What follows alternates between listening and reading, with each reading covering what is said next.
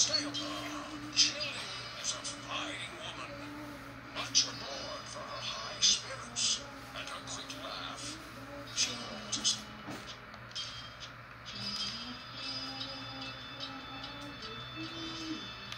What ails you, my friend?